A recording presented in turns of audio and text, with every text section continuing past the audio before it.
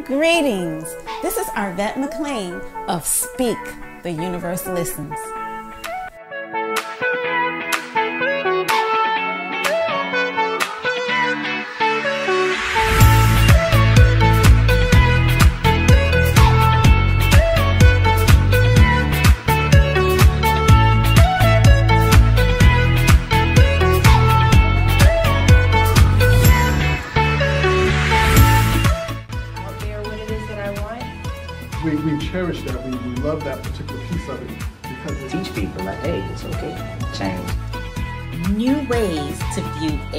Old challenges. Change your thoughts, change your life. Step into the bigness of you.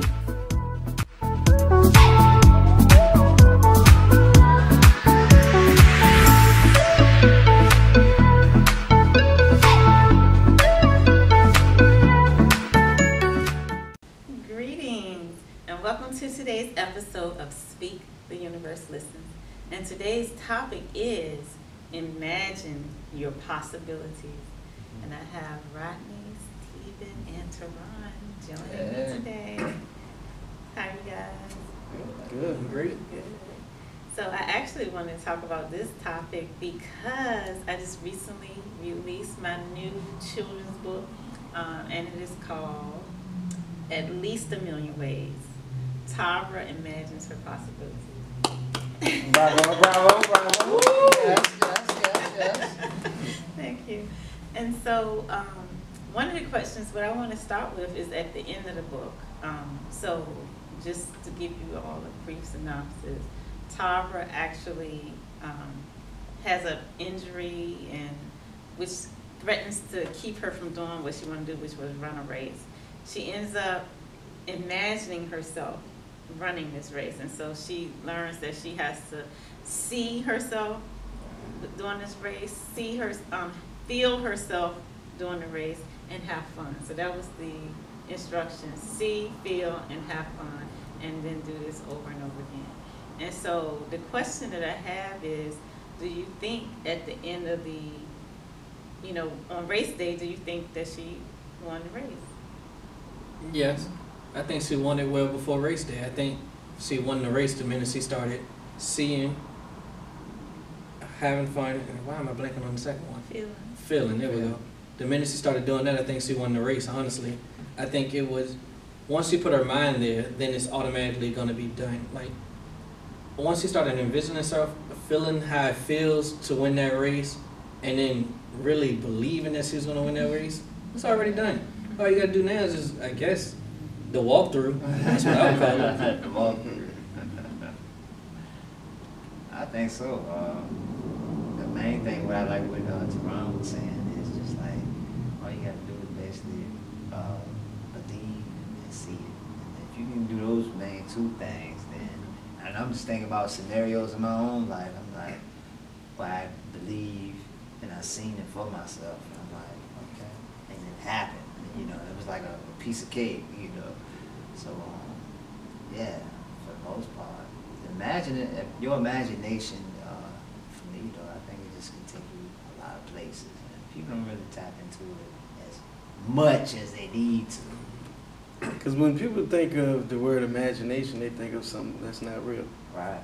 Or something that's far fetched, but it ain't, you know, reality or, you know, the case may be. But it's really um, just visualizing. You know, and,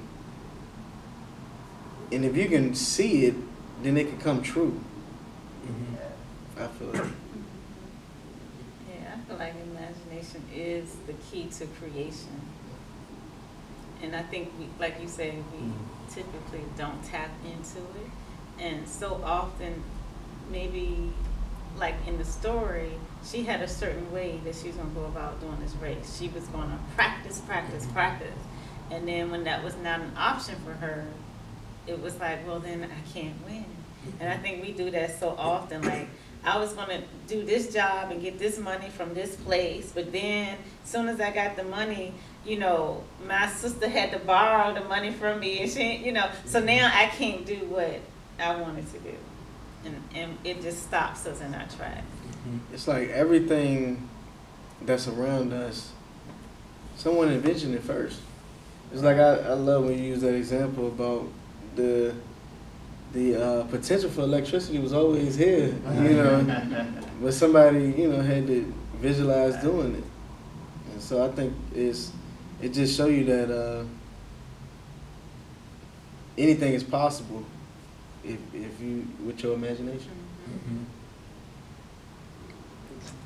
Oh, well, I was gonna say is what I think what usually happens is when people hear imagination, it's odd because growing up you're taught to use it a bunch, and I don't know at what point in life that we all just forget it or lose it, but I feel like I remember every child having a very vivid imagination. It's like we come into the world with this imagination. We come into the world knowing that everything is possible.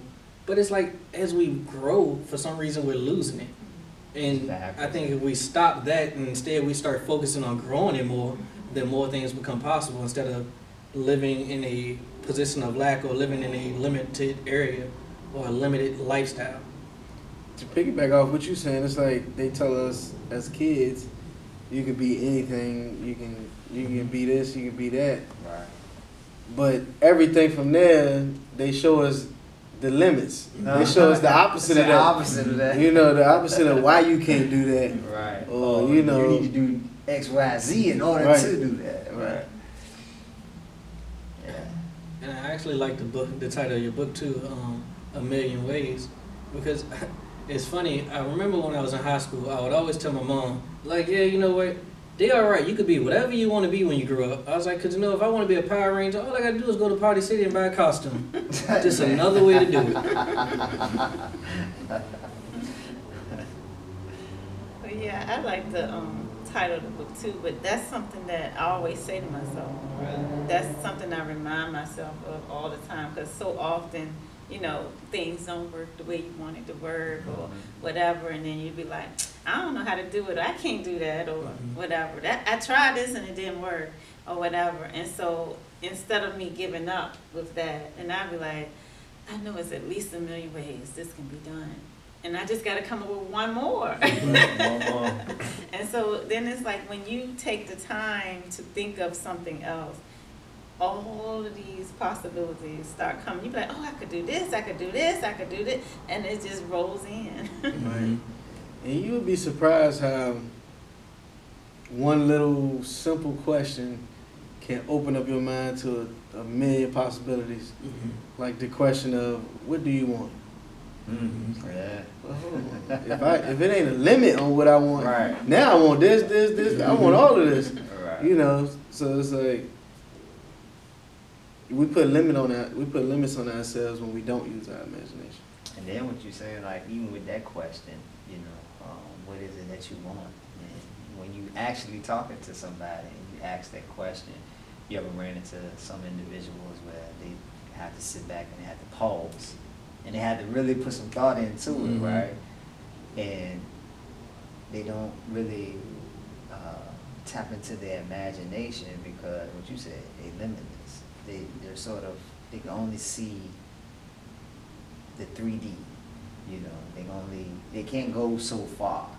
So you say, well, what is it that you want? You know, they probably say the basics. Well, I want a car, I want a house, you know, I want a couple of dollars in my bank account. You know, and then you ask questions like, what do you want? it's- it's like, well, what do you really want? So um, with, with that imagination, I think uh, when you when somebody really just go for it, just dream, just really just go big on it, you know, and realize that it's like beyond possible. Because I had situations as well, um, even with uh, my job, or what I do with my business, and, you know, my first instinct was, all right, well, how, how am I going to build clientele? My vision was, okay, it's gonna be easy. Because, you know, I already have some people already. Word of mouth. Word of mouth. So I already know, like, I just, I just seen it, like, every day I'm making money. Some way, somehow, every day I'm getting clientele, right? That was my vision. And my vision didn't go that way at first, right? It didn't go that way at first, but it didn't uh, take away from me not continuously thinking like that. Then over time, it was like, okay, now I, I get more work.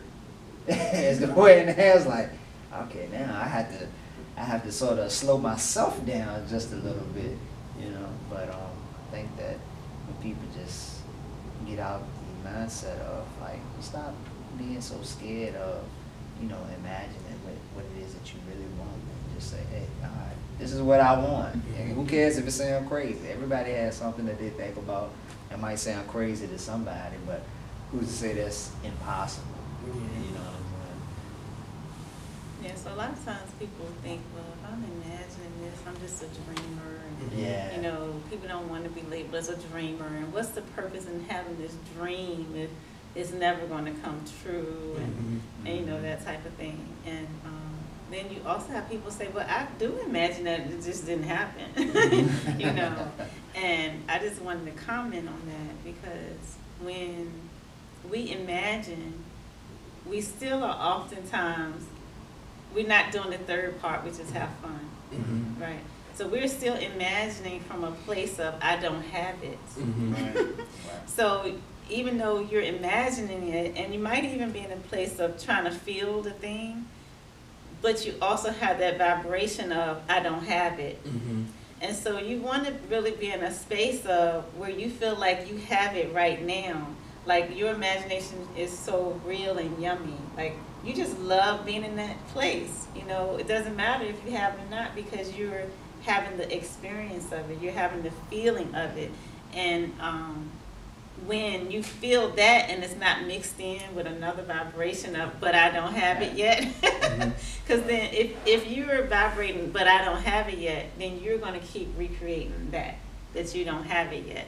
And so you want to make sure when you're doing your feeling and seeing it, that you're enjoying it and it's happening as if it's right now, not something That you that don't you have. don't have, something that you're going to get in the future, you know, that type of thing. You want to Mhm. feel it right now.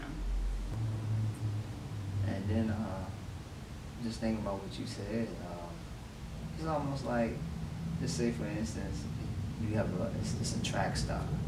Track stop know for a fact, guaranteed, that when they on that field, they're gonna win. There's no, no ifs, ands, no buts about it. They already seen it, they envisioned it for themselves, and they actually, they, they win. So I think about that too, um, just, uh, even in my life with certain things as to where say it's um, something that I'm good at doing. You can't tell me nothing else about it. it's like nobody nobody can tell me that I can't do this particular thing right here. So um, yeah, I would say if anything though, um, that's one of the big things, believing, envisioning, and just doing. Mhm. Yeah, and I think your imagination has to be big in order. Yeah, I think your imagination has to be big in order to accomplish your real goals and your real dreams. I don't, you can't, I don't think you can accomplish your dreams by having a lack of imagination because then you're going to limit yourself and you're never going to get there. So even, you might even get to like the dream that you think is a dream, but it's like, that's just the stepping stool for the dream. Mm-hmm. Because now, once you're there, you're like, all right, well, I'm here. Now I can see bigger. And that's when you start seeing, like, oh, this is my real dream. Mm-hmm. This was just the step I felt like I needed to take to get to it. So your imagination, you need it. I keep in mind that too, like all the things that we have like in this world now that we just look at and we be like, wow, from technology to all these inventions.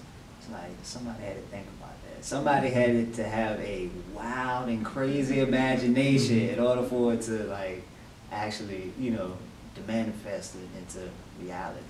So that, that just goes to show me there's nothing that's impossible. Right. And when, when you tap into that imagination, your eyes get wide. Very wide. Oh, all this out here, all this is possible. Right. I think this was said at the book um, launch. Um, but there's a quote that keep coming to my mind that uh, goes, I, I might butcher this, but I think it goes, God has as many ways as there are stars.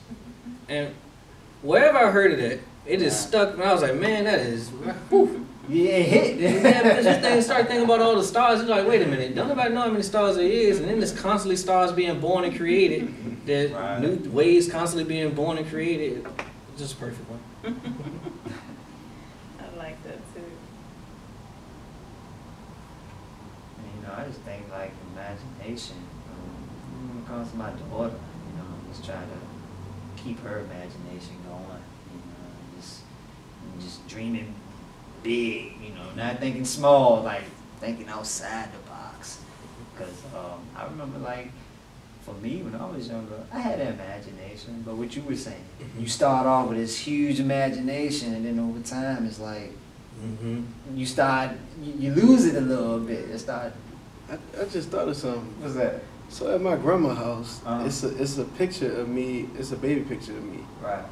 And so when I was a kid, I wrote a bunch of stuff I, I wanted to be when I when I got older, Uh, and we put it in the back of that picture.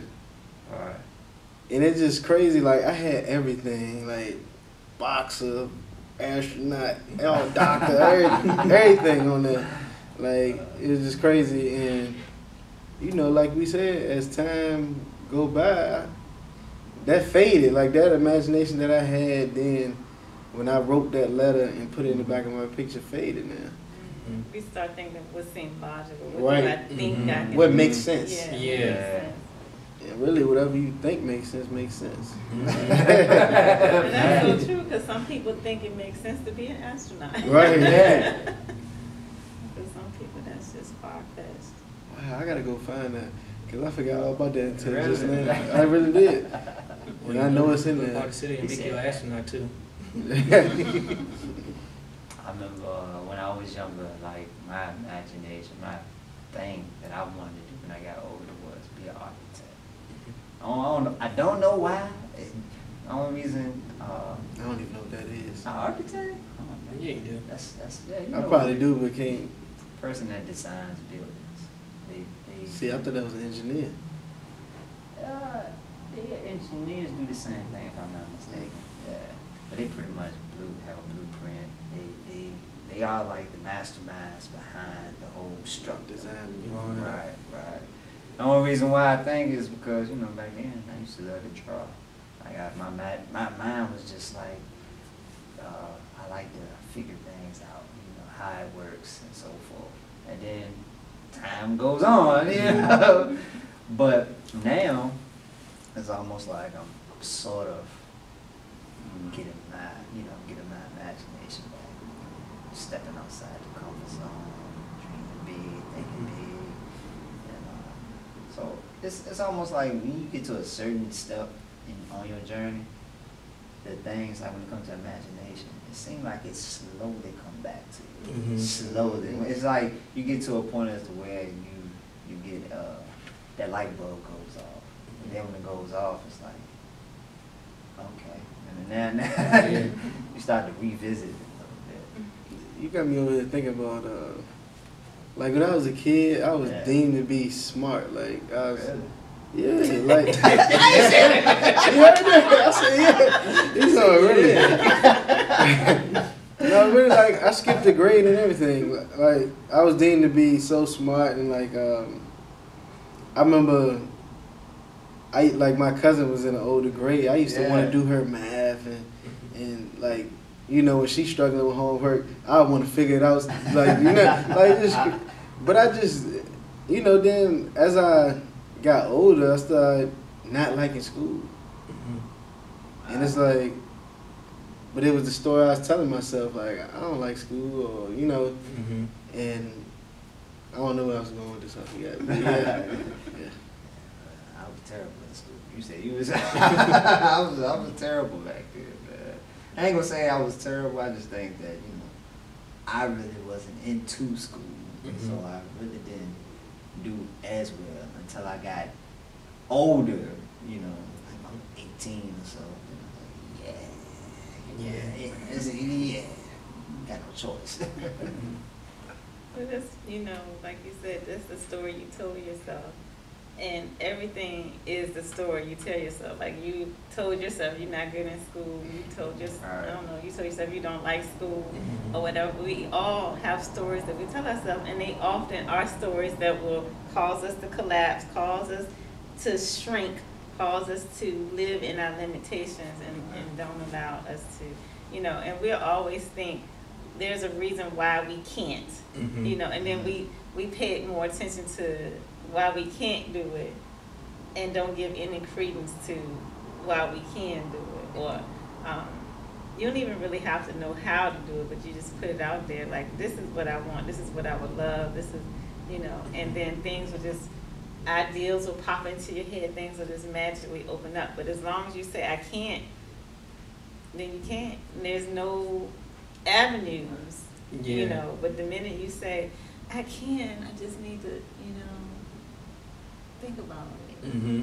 then all of a sudden so and and this um past weekend my husband was like um he wanted some ice cream because it was vanilla ice cream in the house and so he was like oh i want some ice cream i'm like well you you could have had the vanilla ice cream so he's like i don't like vanilla ice cream and I was like, yes, you do. And he's like, no, I don't. You know, I need some stuff on it, you know. And I was like, okay, well, you had some cherry pie. You could have put some cherries on it. He's like, oh, yeah, that's true.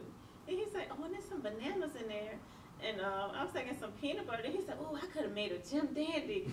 And so then he was like, and there's some pineapples in the cabinet. And we got those Hershey bars. And we could have just melted Hershey on. Oh, so he's like, oh, yeah, I could have had a good. But what was funny about that Right. to me is just how easy, like if you just start Mhm. something, you just imagine, you just see that everything is already around you. It's just like so many ideals, and like a lot of times, um, people do that at work. They'll have like, um, I can't even think what they call. It. I haven't worked in so long. I can't even remember this stuff, but you know, like they would have discussion meetings where you do brainstorming sessions and stuff. And it's like if it was just you by yourself, you might have came up with one or two ideas.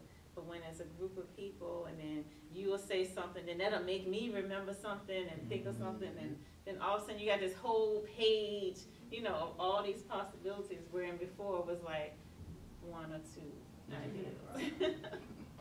We used to do that at, uh, I remember working at, uh, job at uh, Lowe's, and we used to do that, get together one time and sit back, have our little powwow session, talk about the plan, how we're gonna move, and so forth, and then eventually it's like, everybody's a little dead, but then they wake up and they're like, oh, yeah, well, I didn't think about it like that, well, you know, let's try this or try that. But yeah, I think my imagination is one that actually, I, I, I can notice it coming back. Uh-huh. Like even when I look at the things that I do or the things around me, like I remember I would always say in my mind, I was never saying this out loud. Man, I want to live it like a rap video one day. I want to live like a rap video one day. And then I started like just reflecting. This is actually crazy. I was sitting back on my laptop the other day, looking at old videos from a vacation that we had taken. I was like, man, I could put together a whole little rap video right here. So it's like my imagination was coming back and I didn't even notice it, but I was doing one thing and that was just leading to another thing, leading to another thing, leading to another thing. And now here I am living another dream that I had that I didn't even realize I had lived. a lot of times, um, when we do tap into our imagination, because you say yours is coming back, um, like a lot of times if somebody said, um, what would you imagine? What What is your biggest imagination for yourself? Like a lot of times you would come up with stuff like, oh, you know, I'll, you know, be a millionaire and I have, you know, this property and I'll, you know, Right. do these things. I'll fly around the world and so forth and so on. And, and then some kind of way, I just realized, wow, that's very limited. Mm-hmm. You know, like, I was like, what? Is it something higher than that? you know, and then envisioning myself into that higher space that's beyond having this and having that and having this and having that. So have you all ever given that any thought? Like, if, if you, if you, let's just say if you were Christ, mm-hmm. how would you walk the world? Like, what would you want it to look like? I would have no limits. There's, there's no mm-hmm. limits to, I mean, how would I want it to look like? Well, I can't really say how I want it to look like, really, because then if I say what I want it to look like, would I be placing a limit on it? Or how I want it to look like? Yeah, but at the same time, Wow. you're taking, removing the old limit and you're going up. I got it. I got it. Yeah, because you know, there's, you know, a lot of times when we think of Christ, we think of Jesus Christ, Mhm. but Yeah. there's been other Christs, you know, such as the Buddha or whatever. Um, so like, like if you were living in your highest state, like, what would your highest state be? And like the different, I guess, Christ, when you really think, look at the definition of what Christ means, the different um, Christ, they focused on different things. Like they had different talents, they had different ways of loving, different ways of showing up on the earth. Like, you know, what what would that look like? What would I want? Not if I step into my Christ-like state, what would that be like? joyful, I mean, loving. Uh, I could just go on, you know. um,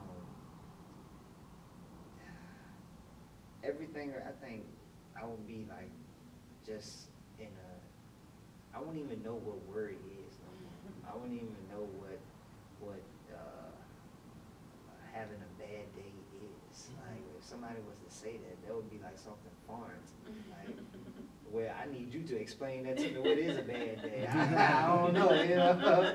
So uh, yeah, I would just be living, living my best, best life, you know, and I would have nothing to complain about. And that's something I always say. Like, anytime somebody asks me, uh, "Well, how you doing?" I always say I can't complain because I honestly can't. Because it always reminds me, like, what is it that I have to complain about? You know, actually been talking about this topic for a long time. Got our imaginations going. Yes, it does. All right, so we're gonna go ahead and close this out, but, um, anybody have a closing statement about imagination, possibilities, potentialities? In the words of the great Kevin Garnett, anything is possible. My. All right, we'll go out with that. So thank you guys for joining us. Look forward to seeing you again next week. Until then, I'm Arvat. That's Steve. Rodney. It's wrong. All right. All right. I'm feeling the same way. I'm tired. Time.